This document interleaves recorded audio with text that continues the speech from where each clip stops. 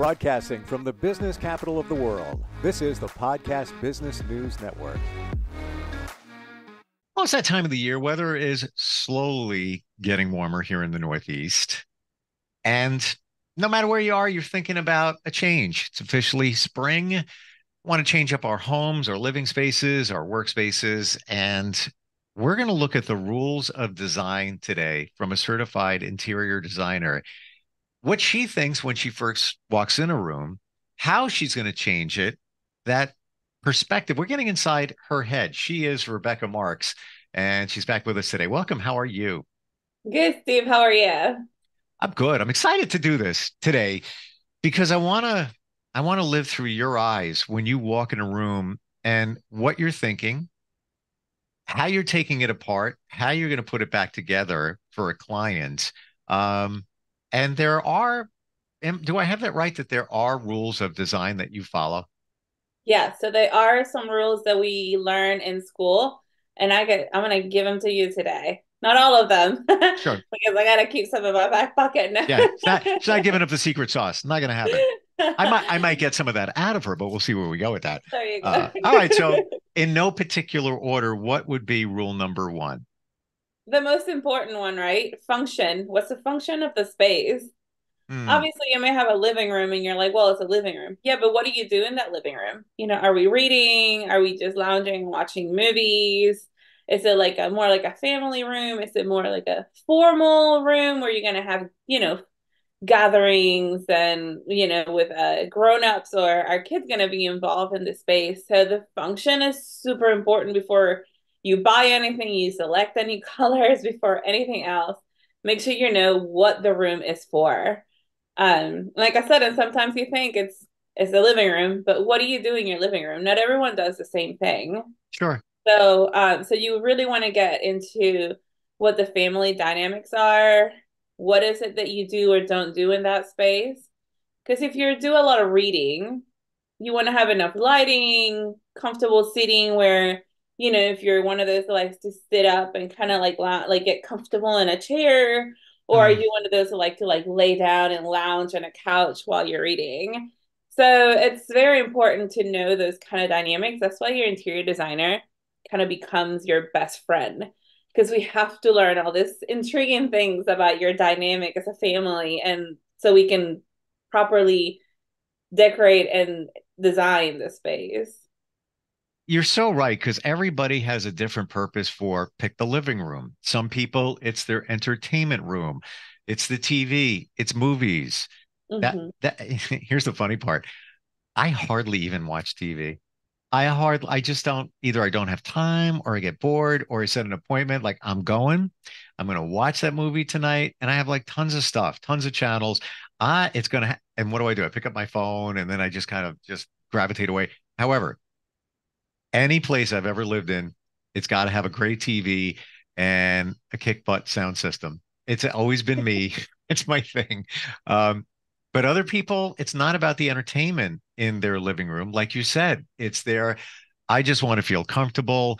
I want to put my feet on that ottoman. I'm going to read a book. I'm going to, you know, do whatever. Um, or some people may say, I'm going to eat. I'm, I'm going to eat in front of my TV. So therefore, you got to accommodate right. for that.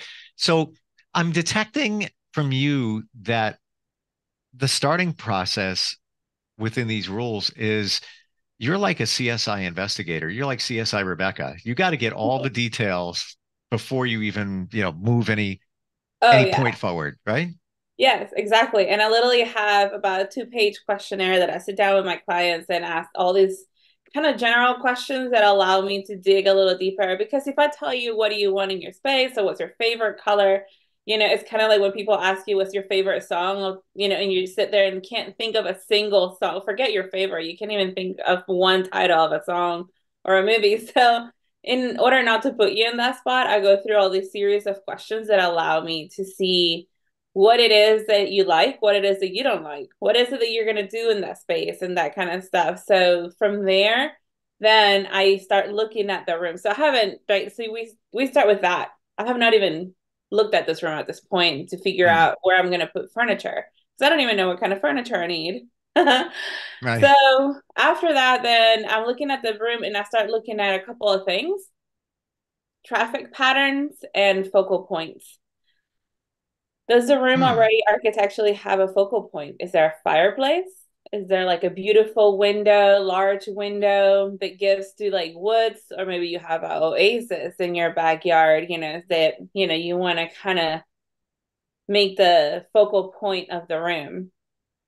Hmm. Or maybe it's just like a bedroom and it doesn't have any focal points. So you want to create one, which usually in a bedroom, the bed is the largest piece. So it becomes the focal point. Um, in an office, I enjoy, especially with my more like my executive clients, I enjoy making their desk, making a beautiful desk according to the style that they enjoy, and then working around it. Because when you walk into an office, the first thing you do is look for the desk because you know that meeting or you know work is going to take around that one piece of furniture. It's kind of the same with the bed. You walk into a bedroom, and the first piece that you look for is the bed. so that is your focal point. I love what you said about the focal point in the fireplace because you could take a look at that and say, you know, it's it's this you know red brick old school fireplace. I'm not really a fan. Sometimes it can it can work within the room, but you could take a look at that and say, and I, I am not the designer, but look at it and say you could paint that white. You could yep. change it up and really maybe modernize it or make it uh, more minimalistic even though it's brick you know. Typically right. that doesn't go with the minimalistic style but there's so many things you could do but that's your job to i guess look at these things and say i guess it's your assets. Hey you've got that. You've got that. Like you know we look at our bodies you know it's like look right. at me. I'm like my legs are pretty good you know Arrest me, I don't know. Exactly. and it's true, right? And like you already have a natural focal point with the fireplace, so let's use it. That is not your style, you necessarily don't like it, maybe it won't work with whatever style you want to bring into that space. Okay, but you already have it there. Yeah. So I mean, changing the facade of the fireplace is a lot less expensive than having to remove it and create another focal point in the space. Mm. So, so yeah, right so, on the All right. So we make that one of the rules. How about the how about another rule that uh, you adhere to? So traffic patterns. Okay. Right. So I see the fireplace, and for example, you may have um you walk into you walk into a house and you have an opening to the living room on one side. And let's say the li- living room is like a square shape. So you have the opening, and right next to that opening on that wall, um, you have another opening into the dining room, for example. So you have this imaginary diagonal line from one opening to the next that should not be obstructed with any furniture or decor or anything else. You want to have a clear path, a clear path of uh, traffic flow. Okay. So you can go from the entryway into the living room to the dining room without having to move around any furniture. So that's what we call a traffic pattern or um, the flow of traffic. Um, so you want to have that clear path. And when you, it's almost, I think, I feel like sometimes we naturally do it or you do it without realizing. And design is used a lot. If you think about a kitchen, usually like the entry of the kitchen and either it be the garage or the backyard or something, there is like, it's almost like a hallway right? And then you have like the island, and maybe it's a U shape or L shape. It doesn't matter what shape it is. The kitchen. There is like this almost like feels like a hallway from one entry point to the other, and that will be a traffic pattern. So I have two thoughts on that, and it goes back to something we talked about, I think, on the first first podcast when we got together. In that, it's a flow of energy, and energy is everything, and you need a constant flow. When there's blockage, it's not just a hassle going around it, it's blocking the flow of energy, number one. And number two, even when they design, like my friends and I used to say, great bar has a flow. You can do, or we would say, we can do laps. We can go, you know, you can walk around and there's a free flow. Let me, you know, pass by this area. Let me see who's over here. There's always a continuous flow of traffic. So I totally get what you're seeing, saying, but a lot of times we don't realize that. You know, we you know, we get stuck in our ways and we don't see, oh, if I just pivot the couch that way, what a difference that would make. Exactly. Right. And like I've covered for traffic patterns where I was talking more like from the design point of view of a home or a kitchen. But when we talk about furniture, you're right. So you want to lay furniture in a certain way so you're not blocking it. Um, I worked for a family that have an Airbnb and they thought they needed like all new furniture and stuff. And I was able just by simply moving furniture that they already had, I just read the move the furniture around and tell them put the bed here, put this there, da da, you know, and they were like, oh my god, it looks like a completely different house mm. because they had all the correct pieces, they just didn't properly lay them because there was no flow of traffic. So you want to keep a clear path while the traffic flows. Um, you want it when you're laying down furniture and placing the core items, little tables, plants, anything like that. It should not obstruct any traffic pattern. And you want to keep all the openings about three feet on each side. So 36 inches on each side of a door or an opening, a wall opening, clear. Mm. That's also kind of like a rule of thumb. like you mm. don't want to have hmm. anything that can obstruct that space. I'm thinking. I'm going through my place and and seeing, you know, what's there. If I walk into my bedroom, I probably need to move the dresser a little further away from the door, and I have plenty of room. There's, there's, you know, in that that's a bigger room. Um, but wow, all right, you know, I'm sure that people can hire you, even on a virtual level, to analyze their layout. Let's say they're not looking for a redesign. Just, I want to change up. What do I do? What do I do, Rebeca? What, what, and, and you could take care of that. Yes, yeah, and and that's what I love about this simple rules, right? um, between your coffee table, talking about pattern, right? Uh, between your coffee table and your sofa, there should be a, I love two feet of distance between the edge of the coffee table and the edge of the couch. That way, you're not tramping over each other, but you're not reaching out too far to place something on the table. Still belongs to the living room setting. Um, but two feet, I find it as like the ideal amount mm. of hmm. space between your couch and your um, coffee table. So that's yeah, so that's one of the things. And then between the wall and the bed, if you have a smaller bedroom, between the wall and the bed, keep it about three feet. That will allow for good traffic flow and you don't feel so cramped in there. I remember when I first moved into where I am now, I I struggled with the couch. I didn't know where to put it. And I cha- moved it around. I think it's in the best possible position it's in. But in that, it's right next to the window and uh, and blinds and things like that. Like there's just that much space. And if I give it more space on the other side, I don't have a good flow there. So it there's there's so many variables involved here. Uh, and to the point where my head hurts. Rebeca, just what do I do? right. And sometimes builders don't make our jobs easier because we've become a very uh, asymmetric society when it comes to building because they're just trying to fit this piece in there because, you know, we need if the demand goes up in bedrooms. So they just try to fit that many bedrooms, whether it is design sound or not. That's why sometimes if you're building, sometimes it's better just to hire a designer with your builder so we can work together to build and design the best possible home for you for your function of uh, you know for your family right so right. um but in that then you have balance so when you were talking about your couch and the window and all that i just kept thinking balance so you want to have a good proportion in the room and like i said a lot of times you don't have that symmetry in a space because maybe you have the door on one side and the windows on the other, and it creates asymmetrical environment. And then you walk in and you're like, I don't even know where to put the ta- like the bed, like I can't center it. mm.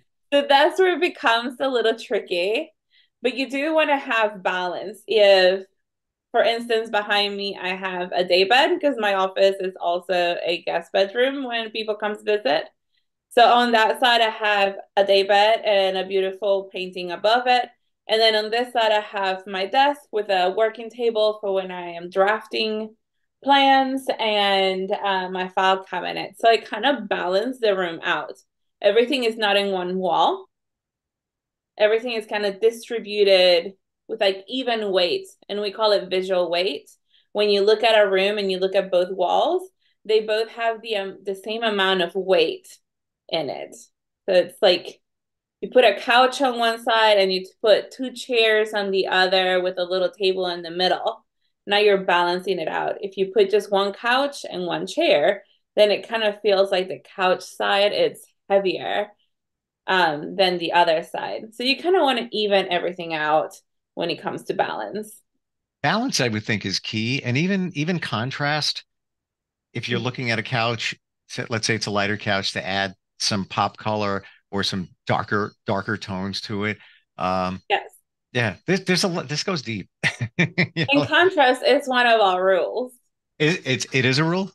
It is a rule. Yes. Oh, wow. Yes. All right. You want to balance it out and then contrast it. It's kind of it's, uh, this is why I love what I do because it's so fun. And when and when people are listening, they're going like, "There's no way that I can do all of this."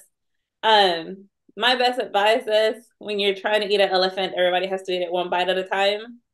So you just kind of can write the stuff down, all these steps, right? You want to see the function of the room, focal points, find traffic pattern, balance the room out. And then you just go one by one, look at the space and go one by one. It's like, all right, oh, here is a focal point. Oh, here is a traffic pattern. And next thing you know, you're designing your own space uh like a pro. so I find myself loving all of this, very interested in it, in in it, but at the same time, I get to a point where most people are so deep in it that I you, I can't decide that. I can't that couch there, but where I would throw it to you. Oh yeah, and I, and I truly exactly mean that. Where I feel like the next one when we get into the scale of things. So um, you go to the furniture store, you go to a showroom, and you see a beautiful table and a beautiful chair and a beautiful sofa. And then you go like, oh my God, and they work well together and it's gonna be perfect. And then you get it delivered in your space and you realize that it's too small for your large space or it's too big, you mm. know, for your tiny living room and you're like, oh man. So that is where scale comes into play. Not only do you want to make sure that the scale is good between the pieces, but also within the space.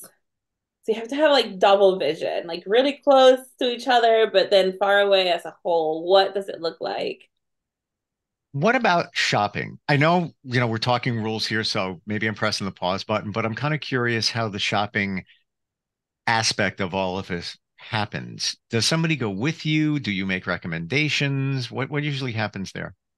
So I can do a little bit of everything. I've done it to where I just design a space with very um generic looking items, but with the colors and the combinations, like the palette that I recommend from me sitting down with a client and then they can go out and purchase it themselves.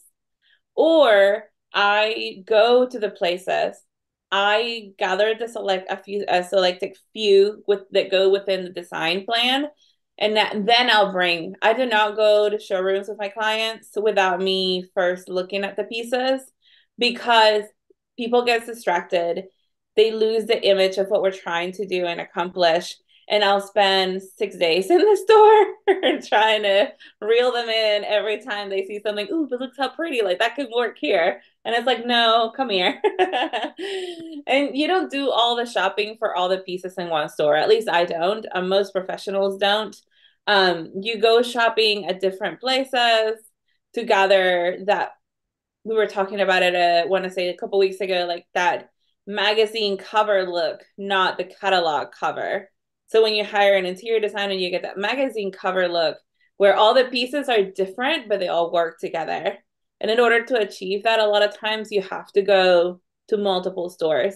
So when I go to a place with my client, I'm only showing them two pieces, anyways. Okay. There is just something about a room, like to your point, the magazine cover, where everything just looks like it goes together and it feels good like you just feel like this positivity, the energy coming off of it. Last week, I helped a friend paint her daughter's bedroom. Um, it was for her daughter's birthday. We were on a kind of a crunch. She said, I need help. Can you help me? I'm like, yeah, I'll be over there. Um, it took six hours. Uh, yeah. just, a, just a bedroom. Um, mainly because I had to navigate around furniture and stuff. And I love painting. I don't even use painter's tape. I cut in. I love it. Great. And spackling, it's all good. It's fun. For me, it's fun. It's like an art project. I didn't know what was going in that room. I didn't know what the final was going to be. And she sent me, she texted me some pictures of it. And I had that feeling, just what you said. And even wrote back, it looks like, like it's on a magazine or it's, uh, you know, on a website because what she put in there, you know, the furniture and how it all worked with the color on the wall. And if I, the suggestion from the colors that you said a few times back when we talked that are in now, I kind of persuaded her to go a little bit lighter. Um, but it had that look it had that look to it that like whoa that's the same room? Oh my gosh. Like i didn't had no idea because when i left it it was 12 30 a.m and oh, there was you know stuff all thrown all over the place but you know this uh, just that that vibe that you get from it it just it just when it when it works it feels so good.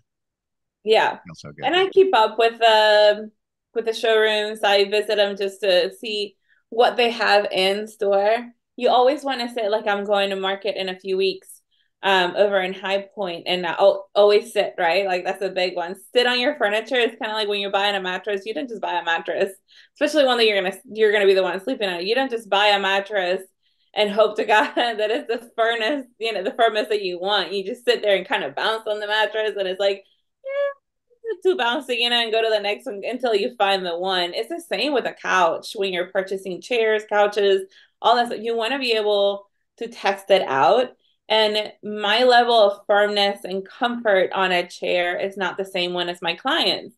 Um, same with the height, right? Like I can look at a perfect chair and but my clients are taller than usual so when he sits it feels like he's sitting on a little stool and mm. he's like yeah this is not gonna work so we gotta find different pieces so i do for a lot of stuff i can get away just with like um you know, sending them a link or sending them pictures and explaining them what it is. But when it comes to like sit down pieces, I do like bringing them along so they can sit down and test it out and see if it's good enough for them. Cool. Um, we're out of time. Did we hit uh, a, a number of the major rules? Yes, we did. I cool. think the only one really left was just details. Your home, tell your story, put mm. you know whatever makes you you in that home. And I guess that story can be told by, let's say, things like uh, the photo wall, mm-hmm. um, maybe artifacts or things from your family that you know, or I mean, it, it could be things you buy, but it's you. It's it, it resonates right. with you. And you can be, I don't know, maybe you go to New York City and find this beautiful art piece, and you gotta have it. So yep. take it you know, wrap it up, they'll pack it out for you and you mm-hmm. take it home and you put it up on a wall and it becomes it's something that you love, something that you picked. And then when somebody walks in and they look at it and say, like, oh my God, that's beautiful, you can go ahead and give them the story. Oh my God, it's from a trip to New York City and we were walking around, you know, art gallery and I had to have it. And here it is. What do you think? You know? You and know, it becomes part of your story. You took the words out of my mouth. I was going to say everything has a story. Everything, right down to your couch. You know, yeah. look, you know, and I'm realizing this now. I was just talking about my couch before. There was a story when I first moved in, and I would have friends come over and I say, "What do you think of it like this? What about like this? You know, if you're going to watch TV, would you be comfortable?" And I can make decisions on my own, but it was like I want to get everybody's feedback. You know, maybe I'm missing something, and that's where you come in. You're the feedback. Exactly. You're you're looking at it from an eye eyes of a professional and what really works. Um, uh, Rebeca, what's your website? How do we connect with you? Um, bluelilliespace.com. The color blue, lily is L I L L I E space.com. And there you'll find the contact me page, you'll find projects, services, everything. You make design fun. Thank you. It's yeah, fun. I love it too. And I, and your passion is like off the scale. Thank you so much for being here today. Thank you, Steve. Thanks. We'll be right back. Are you looking for even more of the podcasts and hosts that you love? The Podcast Business News Network is proud to announce that you now have even more ways to listen live. Check out the MyTuner Radio, online radio box, and Simple Radio apps on iOS and Android, or find us online. Search for Business News Network on mytuner-radio.com or search Podcast Business News Network on streema.com and onlineradiobox.com slash US. Take your podcast on the go and don't miss a minute of the action.